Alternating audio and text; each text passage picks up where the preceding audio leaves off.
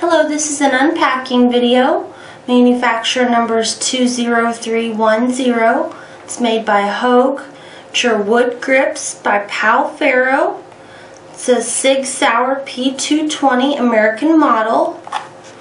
I'm going to take these out with you so you can take a look at them. This has information about the fit and care and maintenance on the grips. Go ahead and hold them up.